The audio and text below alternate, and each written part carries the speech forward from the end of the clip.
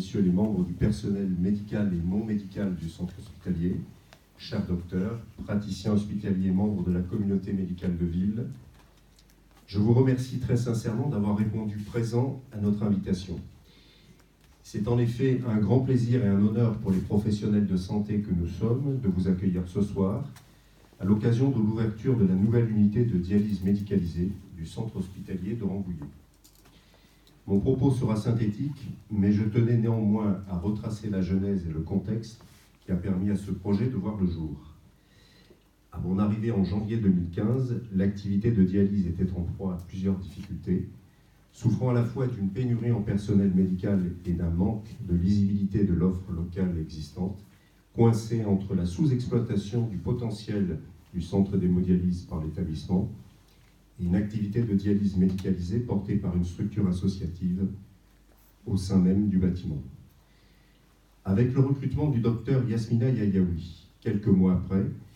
les événements ont rapidement pris une autre tournure pour notre plus grande satisfaction et celle de nos patients. En insufflant une nouvelle dynamique, le docteur Yayaoui est l'artisan d'un renouveau de la prise en charge néphrologique au sein de notre établissement et bien au-delà sur notre territoire de santé. Avec la mise en place progressive d'une équipe médicale et paramédicale étoffée et dédiée, et un formidable travail portant sur les organisations internes, la qualité de la prise en charge et une communication adaptée sur le savoir-faire, l'activité néphrologique a pris son essor et atteint aujourd'hui des niveaux très satisfaisants, témoins de la confiance des patients et des médecins et adresseurs. Les consultations ont ainsi plus que doublé entre 2015 et 2017, passant de 375 à 789 les séances de dialyse en centre ont bondi de 4571 en 2014 à 6381 en 2017, soit plus 40% en trois ans. Aujourd'hui, cette activité atteint un rythme de croisière et fait honneur à notre mission de service public de santé. Elle favorise l'accès à la greffe grâce à une politique active de partenariat avec les centres de transplantation de l'assistance publique hôpitaux de Paris, elle autorise depuis plusieurs mois la réalisation en mur d'examens spécialisés, comme les biopsies rénales, qui permettent de détecter les maladies rénales rares. Elle s'insère harmonieusement dans notre dispositif d'hospitalisation complète de médecine, où des lits à orientation néphrologique peuvent être affectés suivant les besoins des patients. Elle s'illustre dans la prévention en organisant dans nos murs des campagnes de dépistage, par exemple lors des Journées nationales du Rhin, elle dépasse les frontières du seul centre hospitalier de Rambouillet, puisqu'elle a été identifiée à travers le projet médical de territoire partagé en tant qu'activité de référence au sein du groupement hospitalier de territoire Yvelines Sud.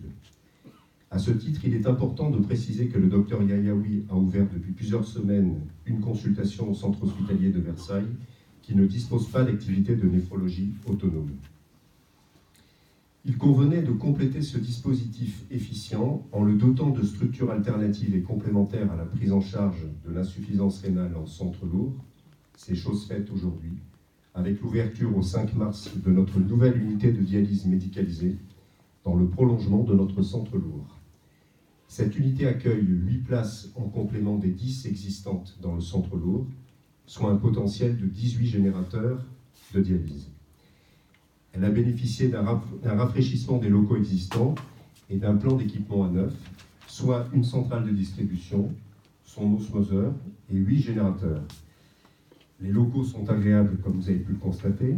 lumineux. Ils disposent d'un accès séparé du centre lourd pour les patients. J'adresse à ce titre tous mes remerciements à l'Agence régionale de santé d'Île-de-France, par l'intermédiaire de son délégué départemental, Dr Marc Pulic, que je salue parmi nous, qui a cru au potentiel de développement de cette activité, en a délivré l'autorisation d'exploitation et l'a accompagné d'un financement exceptionnel et salutaire de 394 000 euros. Pour l'heure, les plannings de patients sont déjà complets. Nous prévoyons d'ici deux ans, à l'issue de la nouvelle phase de montée en charge, plus de 11 000 séances de dialyse, dont 2 500 pour la nouvelle unité de dialyse médicalisée, soit un potentiel de plus 75% par rapport à l'activité totale réalisée en 2007. Un grand merci à toutes et à tous, au docteur Yasmina Yayaoui, sans qui cette formidable histoire n'eût pas été possible, à toute l'équipe médicale et paramédicale impliquée dans la prise en charge quotidienne, à nos patients, leurs familles, leurs proches, qui nous témoignent leur confiance et nous confortent dans notre élan et notre raison d'être.